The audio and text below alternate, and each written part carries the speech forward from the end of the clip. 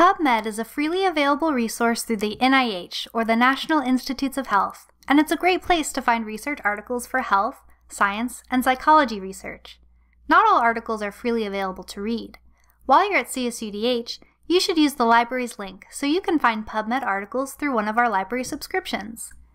Try out a search using keywords related to your topic, for example, depression and sleep apnea. Using quotation marks around specific phrases can help you narrow your search to that exact phrase. In PubMed, you can also narrow your results using filters like publication date and article type.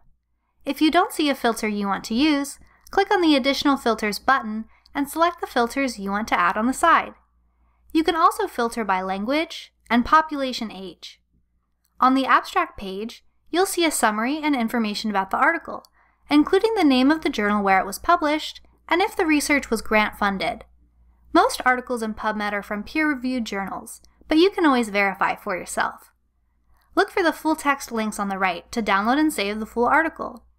The Find It at CSUDH Lib button will redirect you to OneSearch and another database where we have the article. On the abstract page, you can also find similar and cited by articles to find more recent sources. PubMed also includes MeSH terms. Medical subject headings are control tags that describe what an article is about, regardless of what terms or keywords are used in the source. They're also broken down by subcategories. For example, you could search for everything in PubMed about therapies for depression or complications of obstructive sleep apnea. You can add multiple MeSH terms and keywords to expand your search in PubMed. If you have questions about using PubMed for advanced research, ask a librarian